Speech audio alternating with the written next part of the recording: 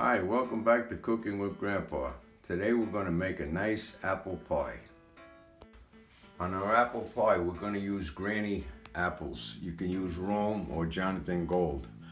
Uh, what do you call it? I'm using Granny. You need about three pounds. This is a fresh apple pie. We're making with fresh apples, not canned apples. I'm going to cook these a little in first to soften them up a little bit. Okay, we're, to start. We're going to put our butter into the pan and melt that down a little bit.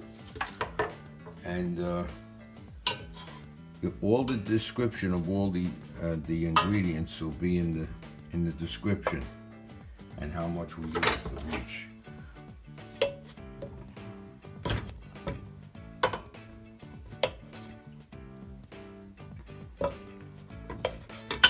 I, I salt, I put these in salted water and then rinse them off.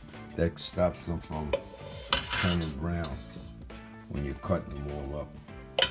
You kind of have to do that. I'm going to leave the salt that was in the recipe out because I don't want too much salt in this. So what you do is you start melting your butter and you put your apples in there and start them around.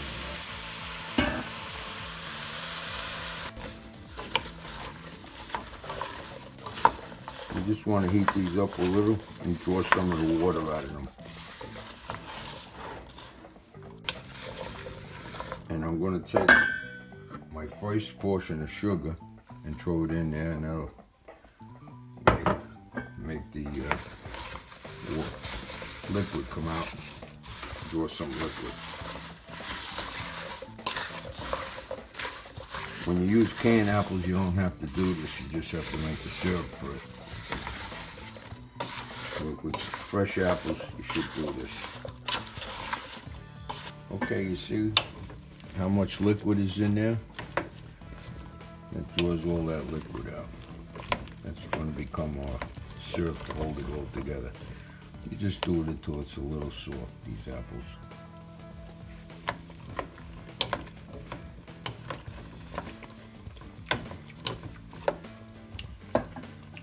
Okay, we, we simmered this a few minutes and you can see the water starting to boil in there.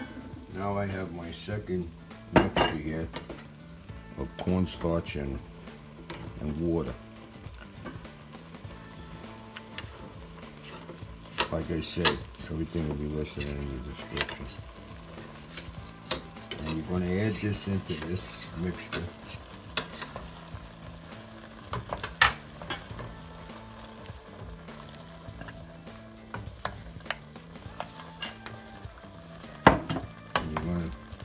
Until it clear, makes it clear, shows up clear. I'll show you that in a few minutes.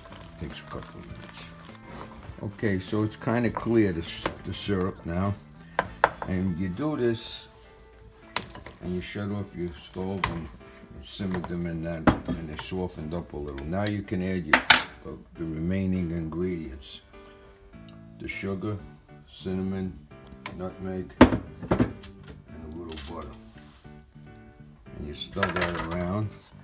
Now, if you don't do this and you just make some people make apple pie with fresh apples and they just use the raw apples in the shell, you're to end up with a very watery apple pie. This helps prevent that. So you do this until that butter melts up. Stirring it. Don't don't mash them up, just, you know, gently.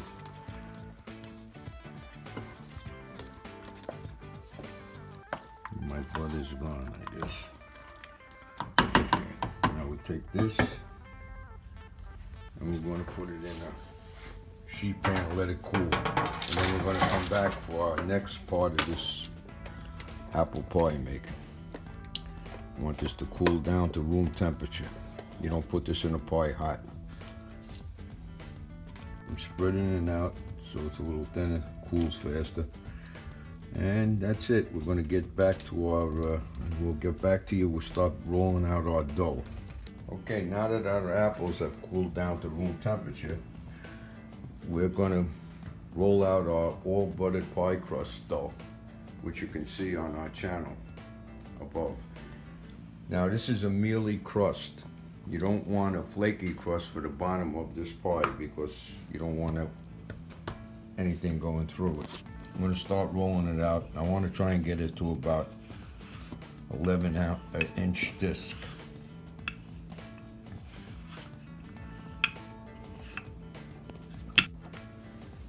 Okay, we're getting close. We want it about 11 inches round. Don't make it too thick because your crust will never cook.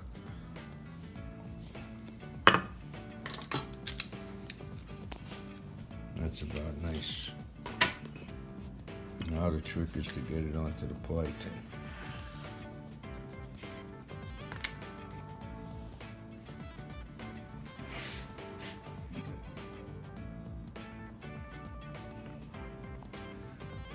Just press this down, but hold it up here to get it into the pie tin. Nice to the bottom. You don't dock this here pie crust like the other blind crust because you don't want the filling to sleep through. So we got our thing down here, good.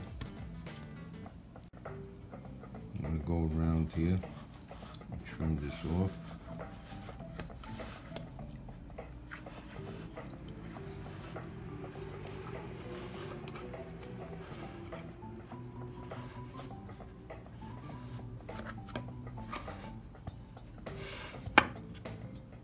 This we can make a little tart with this later on. Now you try to put your filling into your pie without getting it on the edges of that pie tin because you want the top of course, to stick to it.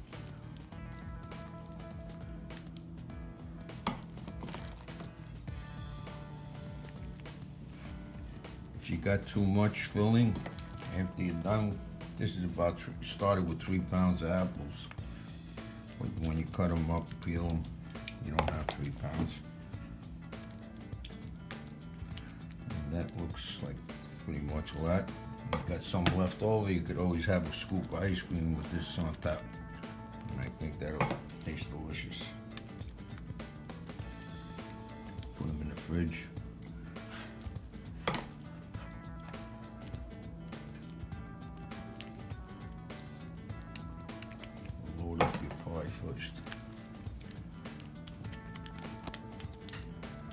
Okay, we'll get back to you now with the top crust.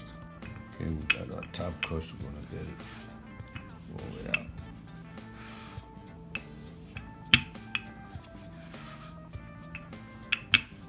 Sometimes when it's too cold, it starts cracking on the sides, just fix it up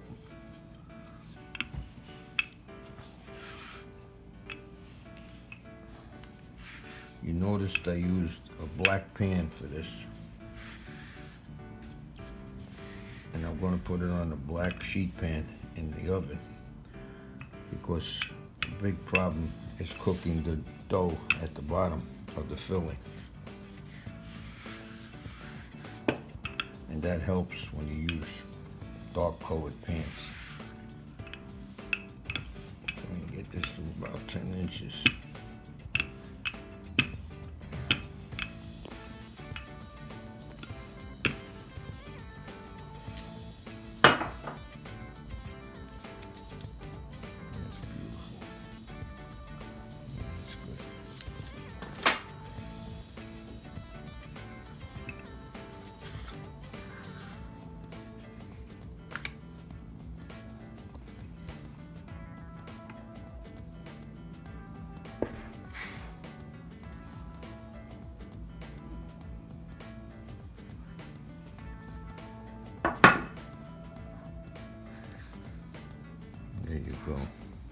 Fold this under if you want, make it thicker.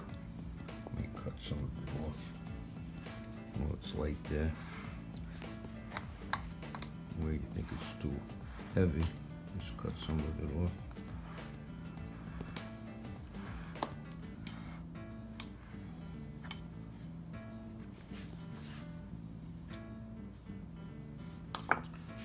then try to fold it under.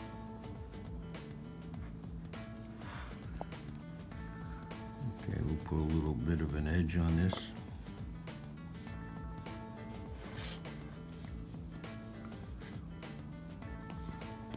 I'm not the greatest with this. My granddaughter is better than me.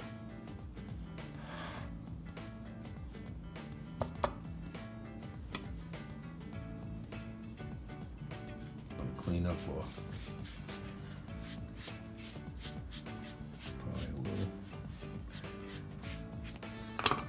This is important. Make a nice big hole.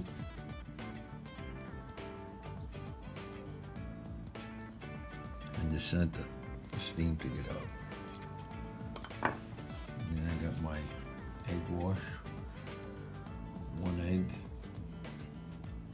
And the same um, one to one mixture with water.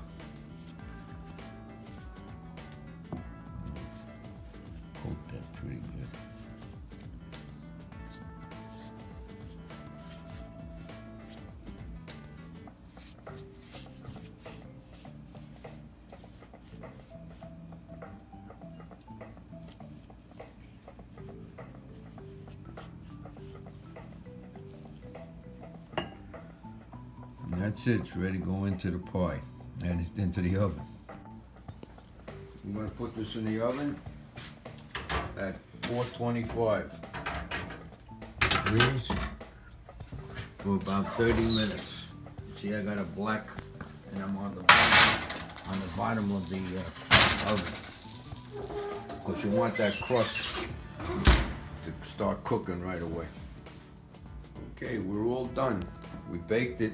I actually went too long and I baked it about 40 minutes, 50 minutes. It should be only about 30. And the filling kind of bubbled up too much and it cracked some of my crust. But all well and good. It's going to taste great. Okay, thanks for watching. And don't forget to subscribe and hit the notification button.